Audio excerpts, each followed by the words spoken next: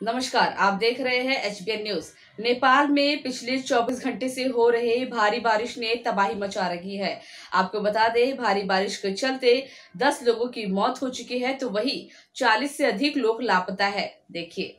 नेपाल में पिछले 24 घंटे से ज़्यादा समय में मानसून की बारिश ने भारी तबाही मचाई है।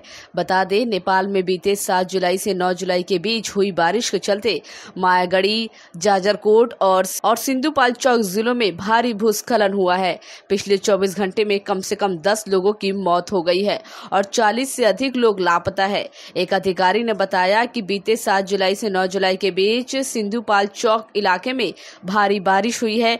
कई घर घर बह गए हैं। पिछले 24 घंटों में नेपाल के विभिन्न जिलों में मानसून की तेज बारिश के चलते हुए बाढ़ और भूस्खलन की घटनाएँ बढ़ी है। बारिश के चलते मायागढ़ी, जाजरकोट और सिंधुपाल चौक जिलों में भारी भूस्खलन हुआ है। नदी के किनारे कई घर बहते हुए नज़र आ रहे हैं। Bureau report, HBN news.